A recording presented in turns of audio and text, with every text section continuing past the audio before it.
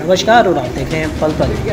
कुछ ही देर में भारत की ज़मीन पर उतरेंगे पाँच राफेल विमान। जी हाँ भारत की शक्ति और शौर्य का प्रतीक ये राफेल विमान कुछ ही देर में भारत की ज़मीन पर उतरने वाले हैं। लेकिन इससे पहले बता दें कि वायुसेना ने हवाई अड्डे के पास लोगों द्वारा अपनी छतों पर विमानों की फोटोग्राफी और वीडियो बनाना पूरी तरह से बैन कर दिया गया है। फ्रांस से आ रहे पाँच लड़ाकू विमान बस कुछ ही देर में भारत पहुँचने वाले हैं। अम्बाला केंट एयरबेस पर इनकी लैंडिंग होगी। इसके साथ ही बेस बैकअप के तौर पर, एयरबेस के तौर पर जोधपुर भी पूरी तरह से तैयार कर दिया गया है। लैंडिंग के दौरान छतों पर फोटोग्राफी पूरी तरह से बंद कर दी गई है, ताकि वहाँ पर किसी प्रकार का जमावड़ा न हो। लड़ाकू विमान राफेल के पाँच विमानों का पहला जत्था आज भारतीय वायुसेना में और उसके बेड़े में शामिल होने के लिए अम्बाला पहुंचेगा। वायुसेना प्रमुख air chief marshal R K S Bhadauria आज फ्रांस से आने वाले लड़ाकू विमानों के पहले बैच को प्राप्त करने के लिए अम्बाला पहुँचेंगे। सूत्रों ने बताया है कि भारतीय राफेल्स को यूएई में अल दफरा के करीबन 11 बजे वहाँ से रवाना होने और दोपहर तक अम्बाला पहुँचने की उम्मीद है।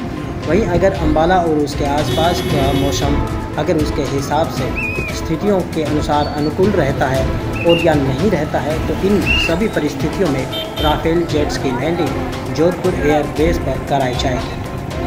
राफेल लड़ाकू जेट विमानों को शहर में उतारने के मद्देनज़र अम्बाला एयरबेस के करीबन चार गाँव में धारा एक लगाई गई है।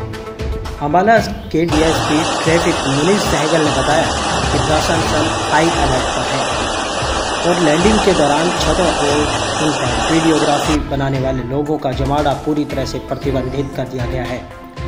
प्रशासन ने वायुसेना स्टेशन की तस्वीरों को धूलकोट बलदेव नगर गरनाला और पंजोखरा जैसे स्थानों से प्रतिबंधित कर दिया है।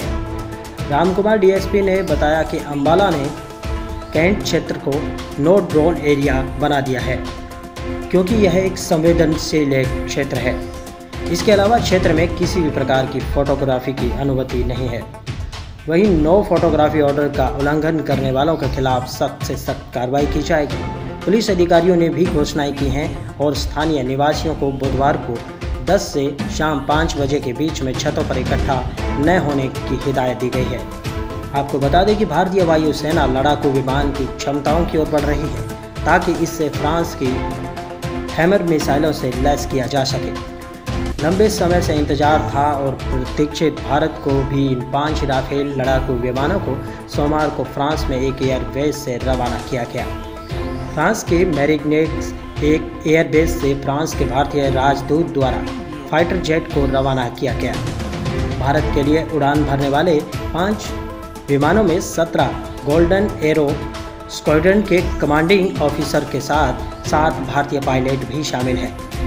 एयर चीफ मार्शल भदौरिया इस समय वायुसेना के उप प्रमुख थे और इस सौदे के लिए भारतीय वार्ता टीम का नेतृत्व भी किया, जो भारत में सबसे महत्वपूर्ण सौदा है।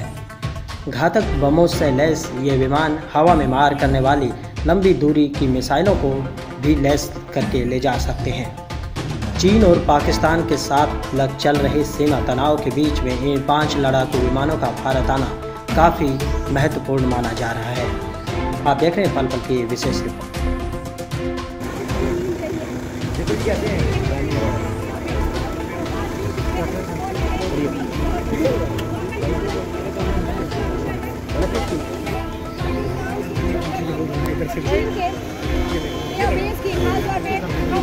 की बात करें तो वो यहाँ से लगभग तीन सौ पचहत्तर किलोमीटर हाँ हाँ ठीक है।